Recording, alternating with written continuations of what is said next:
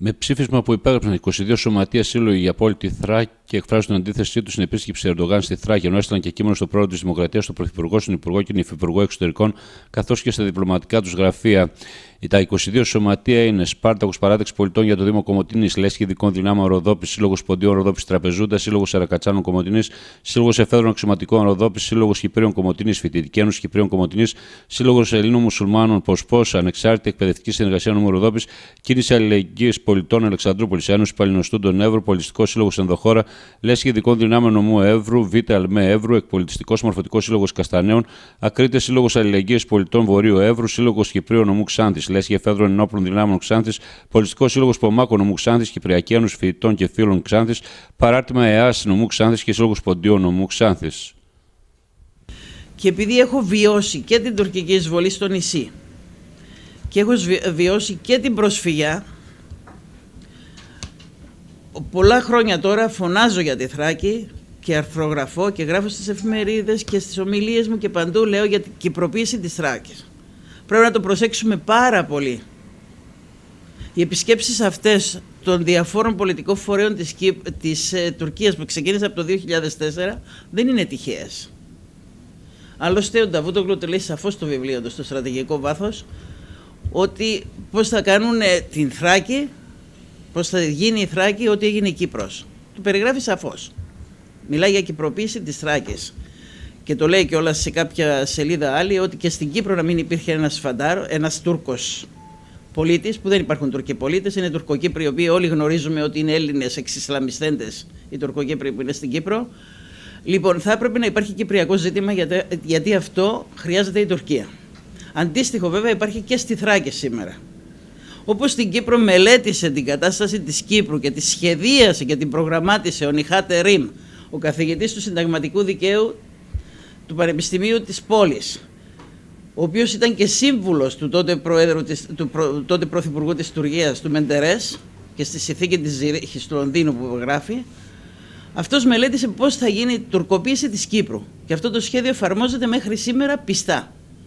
Δεν ήταν τυχαίο που ξεκίνησε η Τουρκανταρσία το 1963, χωρίς να υπάρχει λόγος και χωρίς να υπάρχει αφορμή αυτά που μιλάνε ότι πήγε ο Μακάριος θα είχαν αλλάξει πράγματα είναι παραμυθάκια. Το σύστημα δεν λειτουργούσε από μόνο του. Γιατί το οργάνωσαν έτσι που δεν λειτουργούσε. Και ήταν προγραμματισμένη η εισδοχή της Τουρκίας ξανά στην Κύπρο. Μπήκε με τη συνθήκη της Ζηρίχης. Η Τουρκία με τη συνθήκη της Λοζάνης που υπογράφηκε παρετήθηκε εντελώς από την Κύπρο. Την παραχώρησε ως απικία πλέον επίσημα στην Αγγλία βάσει της συνθήκης της ε, Λοζάνης και επανήρθε η Τουρκία με τη συνθήκη της Ζωηρέχη στην Κύπρο και σήμερα ζητεί και απαιτεί ο κύριος Ερτογάν. Αντίστοιχα ζητεί και απαιτεί και για τη Θράκη μας. Και μας μιλάει για την ψυχή του, για την καρδιά του ο κύριος Ερτογάν. Τι λέει η καρδιά του; Το θέμα είναι τι λέει η καρδιά του εκάστοτε ηγέτη της Τουρκίας ή τι λέει η ιστορία και οι συνθήκες που έχουν υπογραφεί. Καλώ όλους τους Θρακιώτε να αγωνιστούν για τη μη κυπροποίηση της Θράκης. Υπάρχει σχέδιο για τη Θράκη. Και ο κύριος Ερτογάν και όλοι αυτοί που επισκέπτονται την περιοχή μας αυτό εξυπηρετούν. Και επιτέλους πρέπει να το καταλάβουν οι κυβερνήσεις μας και όχι μόνο να προστατεύουν αμυντικά τη Θράκη με το στρατό κτλ., αλλά να την προστατέψουν και πραγματικά από τους πολιτικούς της Τουρκίας. Ε, Εμείς, σαν κίνηση αλληλεγγύης, έχουμε αυτά τα έξι χρόνια έχουμε βοηθήσει πάρα πολύ κόσμο. Είμαστε με συλλογικότητα που βοηθάμε ανθρώπους που έχουν ανάγκη. Ποτέ δεν κάναμε διάκριση σε σε θρήσκευμα ή σε εθνικότητα ή σε χρώμα. Τα παιδιά από τα κανάλια μας γνωρίζουν πάρα πολύ καλά το τι έχουμε κάνει εκεί πέρα. Ε, και μας φαίνεται πάρα πολύ περίεργο αυτό που συμβαίνει με τις, ε, με τις προσευχές και με τα σύνορα της καρδιάς μας. Αυτές τις χαζομάρες, αυτά τα καραγκιουζλίκια που ακούμε από τον δεν έχω πρόβλημα να το πω από τον πρόεδρο της Τουρκίας.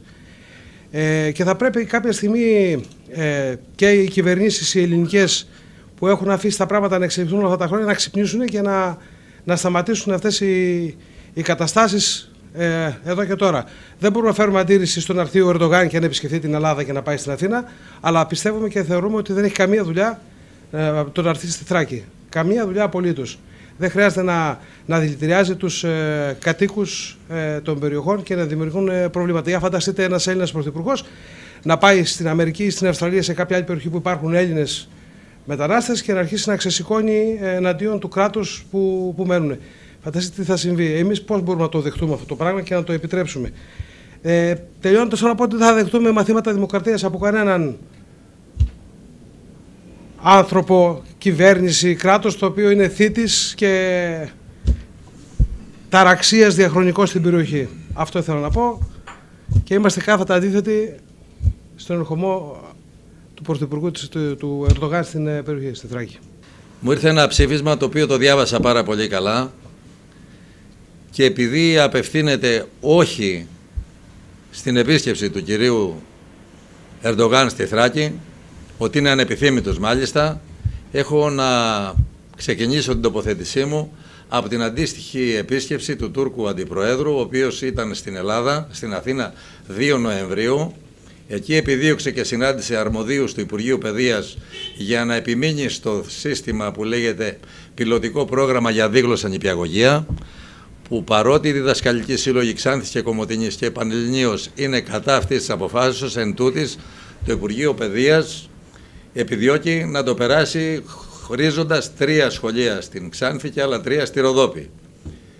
Στις 3 του μηνός που ήταν στην Ξάνθη ήταν μαζί του ο, Υπουργός, ο Υφυπουργός Εξωτερικών, ο κύριος Αμαρατίδης, ωστόσο στην ιδιωτική επίσκεψη που έγινε στη Θράκη είδαμε τον κύριο Αντιπρόεδρο, τον κύριο Χακάν Τσαβούσογλου, φραστικά να λέει πράγματα που με μειώνουν καταρχήν ως Έλληνα και δεύτερο ως κάτοικο μόνιμο της Θράκης και πιστεύω ότι σε αυτό το πνεύμα είναι όλοι οι Έλληνες.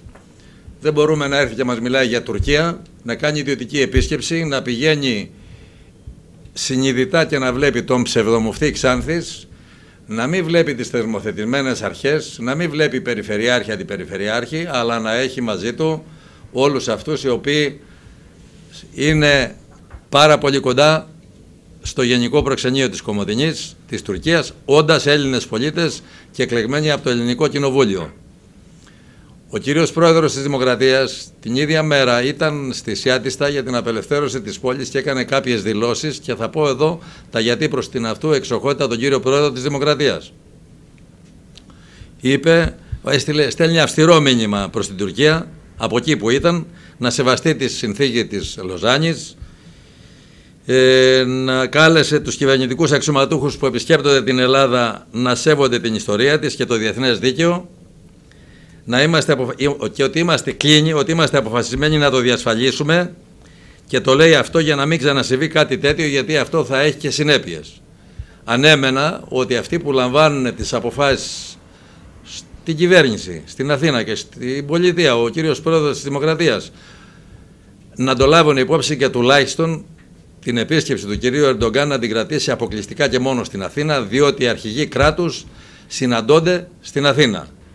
Εμείς δεν θέλουμε να αντιστρέψουμε, να αλλάξουμε κάτι. Είναι δεδομένο πλέον στο πρωτόκολλο των διεθνών σχέσεων, εφόσον ο πρόεδρος της Δημοκρατίας της Τουρκίας έχει ανακοινωθεί, έχει βγει το πρόγραμμά του, είναι μαθηματικώ εξακριβωμένο ότι θα έρθει στην Ξάνθη. Εκείνο το οποίο νιώθω προσωπικά εγώ, αλλά και όλοι εσείς που είστε εδώ πέρα μαζί μας, ο κάθε θρακιώτης, χριστιανός και μουσουλμάνος, είναι ότι δεν μας αρέσει καθόλου να μας επιβάλλουν επισκέψεις όταν μάλιστα ο επισκέπτης δεν σέβεται το πρωτόκολλο και τους κανόνες καλής φιλοξενίας, όπως πολύ σωστά το είπε ο κύριος Πρόεδρος της Δημοκρατίας, εν τούτης έχει αποδειχθεί ότι οι Τούρκοι προύχοντες δεν το σέβομαι. Εύχομαι ο κύριος Ερντογάν, έχοντας ως δεδομένο αυτή τη μεγάλη ευαισθησία που έχει δείξει ο ελληνικός λαός και οι αρχές και ο Υπουργός Εξωτερικών κύριος Κοντζάς έχει σχεδόν δεσμευτεί να το τηρήσει να έρθει στην πόλη. Το καλύτερο βέβαια θα ήταν να συνοδεύεται και από τον Έλληνα Πρόεδρο ή από κάποιον Πρωθυπουργό ή από τον Υπουργό Μακεδονίας Θράκης, ο οποίος ποτέ δεν έχει έρθει στη Θράκη. Ή αν έχει έρθει, έχει έρθει μία φορά εθιμοτυπικά. Εδώ έχουμε το δεδομένο ότι το τελευταίο εξάμεινο η Θράκη έχει δεχθεί επισκέψεις. Τούρκο Πρωθυπουργό, Τούρκο Αντιπρόεδρο, Τούρκο Πρόεδρο. Θα ήταν μεγάλη μας χαρά σήμερα ή αύριο, μεθαύριο, να έρχονταν και ο πρόεδρος της Δημοκρατίας ή κάποιος υψηλά ειστάμενος. Αναρωτιέμαι αν υπάρχει έστω μία τουρκική επαρχία από την οποία μέσα σε 6 μήνες να πέρασαν τέτοιες προσωπικότητες από το αποκίνησαν ένα είδος ενδιαφέροντος ή συνόρων της καρδιάς ή οτιδήποτε άλλη μπουρδα μας ε, ε, πλασάρουν κάθε φορά. Το πράγμα νομίζω ότι έχει ξεφύγει και έχει ξεφύγει στην κατεύθυνση που είπε προηγουμένως και η Ελένη δεν πρέπει να θεωρούμε ότι όλα αυτά τα πράγματα είναι αυτονόητα και ότι δεν μπορούμε να τα αποφύγουμε και ότι τι να κάνουμε αφού η Τουρκία απέτησε να πάρει αυτή την επίσκεψη έπρεπε να την πάρει. Πιστεύω και πολλοί άλλοι μαζί μου ότι αυτή η επίσκεψη θα είναι ένα σημείο καμπής για, την, ε, για το θρακικό θέμα.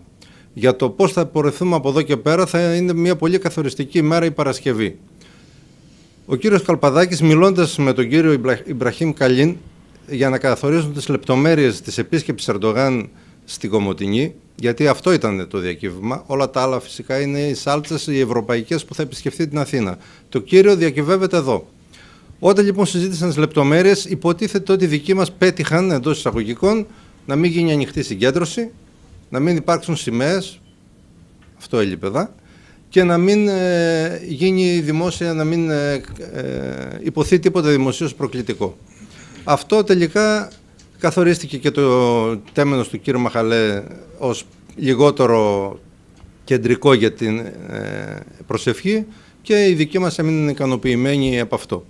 Αναρωτιέμαι αν υλοποιηθούν όλα όσα λένε αυτοί οι οποίοι οργανώνουν την επίσκεψη Ερντογάν στην Κομωτινή. Αν πράγματι έχει 1.000-2.000 άτομα αν ένας από αυτούς που θα κουβαληθούν από την Προύσα ή δεν ξέρω εγώ πού αλλού ε, κάνει μία προβοκάτσια. Αν όχι τίποτα δραματικό, ένα απλό συμβάν το οποίο θα, θα χρωματίσει την επίσκεψη. Ποια θα είναι η θέση όλης, ε, όλων ημών της τοπικής κοινωνίας. Αν όπως είχαμε δει για τα όπλα στο τέμενο στην ε, ηλιόπετρα της Ξάνθης, αν βρεθεί ένας γκουλενιστής να κάνει οτιδήποτε, έστω και ίσονος σημασίας σε βάρος είτε του Ερντογάν είτε της ε, συνοδείας του, για την οποία θα πω μετά, ποια θα είναι η θέση της ελληνικής πολιτείας. Μπορεί να διασφαλίσει την ε, ησυχία και την τάξη και την ασφάλεια μέσα σε όλο αυτό το πλήθος; Πώς αναλαμβάνει ένα τέτοιο κίνδυνο και πώς θέτει εμάς όλους την τοπική κοινωνία σε ένα τέτοιο κίνδυνο, χριστιανούς και μουσουλμάνους, να είμαστε έρμεα του οποιοδήποτε σχεδιασμού, της οποιασδήποτε προβοκάτσιας σε βάρος μας; Πρέπει να το δούνε, έπρεπε να το είχαν δει σοβαρά βέβαια αυτοί οι οποίοι έδωσαν την άδεια να κουβαληθούν εδώ δεκάδες αν όχι εκατοντάδες ένοπλοι Τούρκοι αστυνομικοί.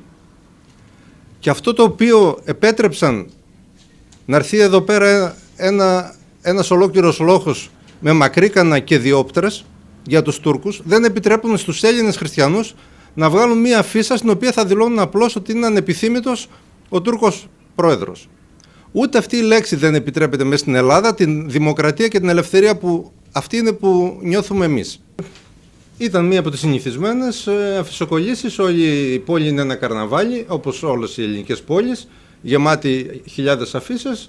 αλλά αυτή η αφίσα δεν έβριζε το ελληνικό κράτος δεν, ή τους μπάτσους ή δεν ξέρω εγώ τι άλλο μπορεί να κυκλοφορεί ελεύθερα. Αφορούσε ένα σημαντικό γεγονός το οποίο αφορούσε και την ασφάλεια της χώρας. Αυτή η αφίσα λοιπόν δεν έπρεπε να κυκλοφορήσει, δεν έπρεπε, θα κυκλοφορήσει φυσικά, αλλά υπήρχαν αντιρρήσεις και κατασχέθηκαν κάποιες αφήσεις από τις οποίες, οι οποίες πρωτοκυκλοφόρησαν. Αυτό λοιπόν θεωρούμε ότι θα έπρεπε τουλάχιστον να αντιμετωπιστεί όπως αντιμετωπίζεται ο οποιοδήποτε αφισικολητής σε οποια, για οποιαδήποτε αφορμή. Δεν θέλω τώρα να επεκταθώ άλλο. Εντάξει, και η μομφή βέβαια δεν αναφέρεται στους ε, ανθρώπους που κάνουν τη δουλειά τους, αλλά σε αυτούς που δίνουν τις πολιτικές